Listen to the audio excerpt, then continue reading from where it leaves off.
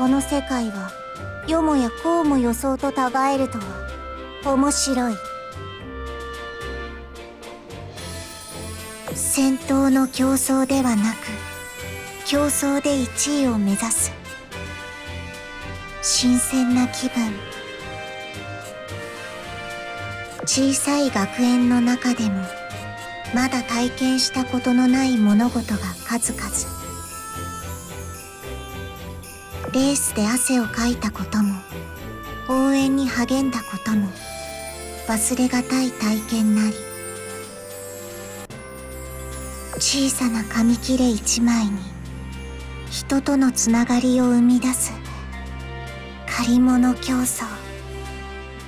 思っていたより面白い。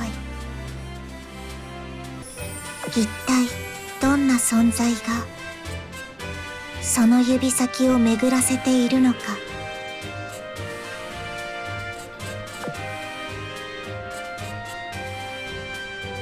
未知なる存在と新たなる出会い。巡り合うためにいざ行かん。自由と運命は常に努力し続ける者にのみ祝福を授からん。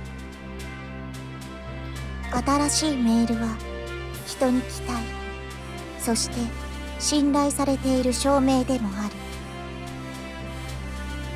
来たる新たな戦いに備えよう。運動会という緊迫する戦いを。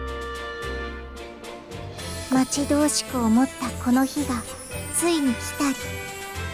愛する人よ。私にはどんな名前をくれるのだろうか。委託に出た。船の帰還を待つ。